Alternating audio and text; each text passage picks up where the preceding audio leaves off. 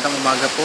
Ngayon ay ah, alas 4.29 na ng ah, Huwebes at ah, naririto na po ako sa loob ng ah, ah, Riyadh International Airport para po ah, antayin ang aking ah, departure papuntang ah, Pilipinas ah, ng ah, alas 7.30 ng umaga.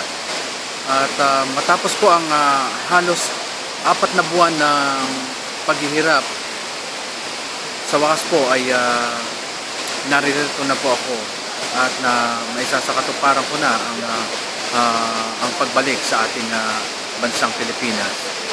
Naway uh, patnubayan ako ng ating Pan- Panginoon upang ah, makarating ng ah, mat- matiwasay at mapayapa sa Pilipinas. At ah, dalangin ko na lamang po na ang lahat ng ah, takas sa Estraha ay ah, mapauwi na rin gaya ko. Lalong lalo na si ah, Kuya Ed at si Tatay. Mamimiss ko po sila at uh, sadya naman lagi ko silang may isip.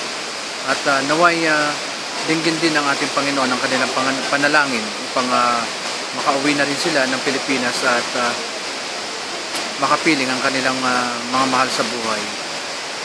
So ito po ang ah, senaryo dito sa air- airport at ah,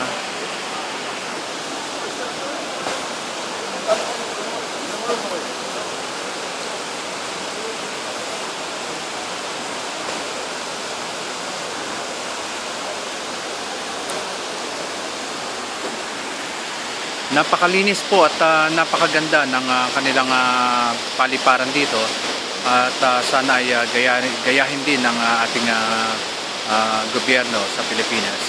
At ah, sa ngayon po, ito po muna ang aking may re-report. Ito po muli si Rene Eliazar at ah, nagsasabing ah, magandang umaga mula po rito sa Riyadh International Airport.